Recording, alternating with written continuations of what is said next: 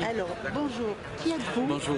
Donc, je suis le diacre Robert Ferrua, président de Caritas Monaco, pour la principauté de Monaco. Donc, euh, nous sommes bien sûr toujours en relation, même en dehors euh, de cette euh, grande tragédie des migrants, nous sommes toujours en relation avec Caritas Italie pour Ventimille San Remo et Caritas Nice pour le diocèse de Nice. Mais là, dès qu'il y a eu ce problème, nous sommes intervenus de suite. Nous avons lancé un appel. Ensuite, Monseigneur Barcy a lancé un appel à la solidarité à Monaco. Les fidèles ont répondu, donc nous, en principe, nous sommes présents tous les jours. Nous amenons les dons que nous avons reçus à Monaco, les vêtements, les vêtements, les couvertures, les produits, les produits d'hygiène pour la toilette, euh, crème solaire, etc.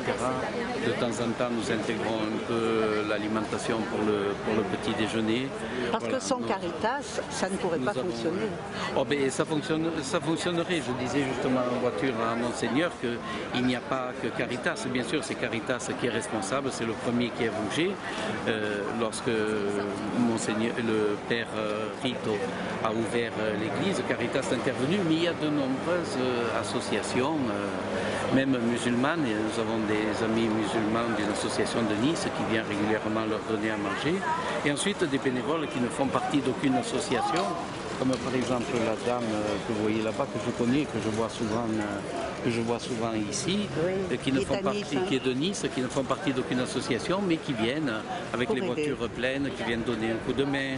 Il y en a qui viennent de la vallée de la Roya, il y a des amis de Menton qui viennent de Monaco, nous sommes venus avec l'ordre de Malte. Donc il y a un grand mouvement Monaco. de solidarité. Il y a un grand mouvement de solidarité euh, autour, autour de l'Église, autour de Caritas, mais nous ne sommes pas seuls, c'est bien de le dire. Hein. Tout à fait. Je peux le dire, je suis fier en tant que président de Caritas de dire que nous ne sommes pas seuls. Les gens ont vraiment fait ce grand élan de solidarité. Et alors qu'est-ce qu'on peut dire faire que pour c'est aider parti, c'est parti de l'appel du pape François Voilà. qui a dit, euh, bien sûr, il a lancé l'appel aux chrétiens, l'appel à la solidarité et l'appel aux prêtres et aux religieux d'ouvrir euh, les portes, les portes des églises. Et ça rentre, euh, bien sûr, il a fait que relayer le message du Christ, de l'évangile des béatitudes. J'étais nu, vous m'avez habillé. J'étais un étranger, vous m'avez accueilli, j'avais faim, vous m'avez donné à manger. Ça, c'est Jésus, là, sur, euh, sur le lac de Tibériade, qui fait le discours des béatitudes avec, euh, avec la belle colline, colline à côté. Donc, euh, il n'a fait que rappeler cela et je crois que voilà, les chrétiens, et pas seulement les chrétiens, ont répondu à cet appel. hein. Et alors qu'est-ce que les... le mieux c'est de donner le numéro de téléphone de Caritas? Moi je C'est ce qu'ont l'écrirai. fait, Voilà. c'est ce qu'ont fait les évêques. Nos trois évêques, ils ont lancé un appel commun. Donc l'évêque de Nice a lancé l'appel en donnant une adresse, un numéro de téléphone sur Nice pour les habitants des Alpes-Maritimes. L'évêque de Monaco a fait pareil pour, euh, en donnant le numéro et l'adresse de Caritas Monaco. C'est à la paroisse Saint-Dévote et l'évêque de Ventimille, bien sûr, a relayé l'appel pour ici. Les gens amènent ici.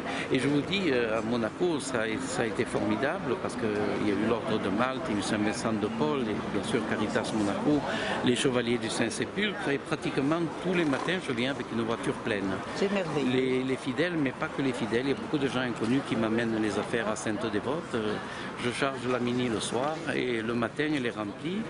Je viens l'amener à Caritas, toutes les affaires, puis je viens Regardez un peu, voilà, s'il donner y a un besoin, sourire. s'il y a besoin d'un voilà. coup de main.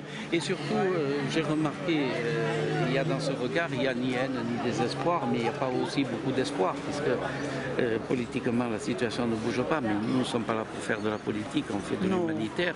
Mais j'ai vu, quand vous arrêtez pour leur parler, là-bas on a dit bonjour, tout va bien, en langue italienne, il a répondu, le sourire vient. Oui, il y a des beaux sourires. Voilà, il y, a des, il y a des beaux sourires, c'est déjà Et moi, je pense que les réfugiés qui arrivent ici, j'ai parlé avec certains d'entre eux, ils ont quitté des situations dramatiques. Dramatique. Et quand on a ça. détruit votre maison, tué votre famille, il faut avoir un ça. sacré courage pour Eh aller oui. sur... Parce qu'ils savent ce qui les attend.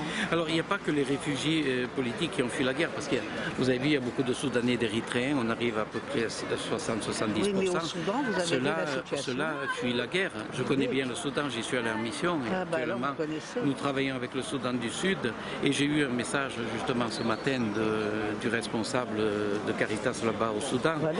qui a dit que malgré la guerre, il y a un semblant de cesser le feu actuellement. Il peut continuer sa mission à, à Djouba, Oui. la capitale du Sud-Soudan, mais enfin, il dit il y a encore des tirs et tout, et, il manque l'eau, il manque, il manque la nourriture, mais enfin, pour l'instant, je survis. Donc voilà, maintenant, on travaille au Soudan, avec le Soudan du Sud et tout, et ces gens, donc, euh, ils ont, ils ont fui la guerre. Ils ont traversé le désert sans eau.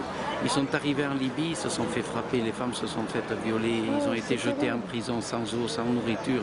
Ensuite, ils ont ouvert la porte de la prison, ils ont dit voilà, là tu as la mafia, tu leur donnes 2000 dollars, ils te font traverser la Méditerranée. 10 ou 15% meurent dans la traversée. Quand ils arrivent en Italie et puis qu'ils arrivent ici, pour eux, c'est, je ne dis pas que c'est le paradis, ah, mais, mais c'est le paradis, c'est ça. Mais presque, parce c'est ce que ce je disais, c'est que finalement, ils n'ont pas de bombes sur Et voilà. ils n'ont pas la mafia Et même sur le les dos. économiques, Ah, ça y est, on a un, un évêque, venez. Ben voilà, c'est Monseigneur, euh, donc Monseigneur Sueta. Buongiorno. Buongiorno. Purtroppo mi hanno fermato, per cui buongiorno, ben arrivati. Ben arrivati. Alors, euh, Caritas Monaco et Caritas Italie, avons commencé à collaborer ensemble lorsqu'il y a eu le tremblement de terre. euh, Comme ça, sinon il y à a, l'ombre. Lorsqu'il y a eu le tremblement de terre à l'Aquila, voilà, c'est le début de la collaboration des deux Caritas. Et euh, on est resté comme frères parce qu'on était ensemble, on est resté dix jours euh, sur place dans les camps. Voilà. On dormait ensemble. Ah, andiamo a Se- vedere c'est resté quelque i chose. vescovi, venez, venez, venez. no, mais vieni. Avete già visto il... Non, siamo, abbiamo Ah parlato. voilà, il paraît alors. euh, L'évêque de, l'évêque de Nice è in sacrestia. Ah, è già arrivato. Ah, è già arrivato. E lei il vescovo? Qui andiamo in chiesa prima Lei di dov'è? Io sono di qua, di Ventimiglia. Di Ventimiglia. E allora, in due parole, lei cosa dice del Papa Francesco e del lavoro che fate voi?